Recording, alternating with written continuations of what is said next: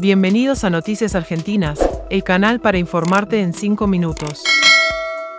Suscríbete a nuestro canal, es gratis y nos ayuda mucho. Noviembre es el último mes donde se entrega el bono de hasta 7 mil pesos a jubilados y pensionados del ANSES. Y este martes 8 de noviembre se estará reclamando un bono de emergencia para los jubilados y pensionados, por monto de 50 mil pesos. Pero para el mes de diciembre, el último mes del año, junto al cuarto aumento trimestral que van a recibir los jubilados de ANSES, van a estar pagando también la mitad restante del aguinaldo.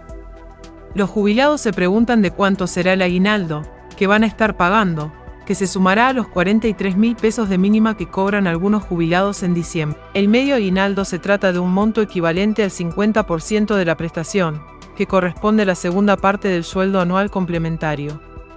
De la misma manera que se pagó durante el mes de junio. Este medio aguinaldo lo van a cobrar junto a sus haberes, en los días de cobro que la ANSES estará publicando en el calendario de pagos de diciembre. Se trata de un monto equivalente a la mitad del haber mensual, para saber cuánto vas a cobrar de aguinaldo, por ejemplo.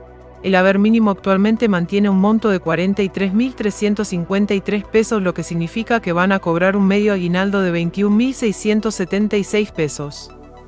El mismo cálculo se aplica para los pensionados que van a cobrar el medio aguinaldo en diciembre.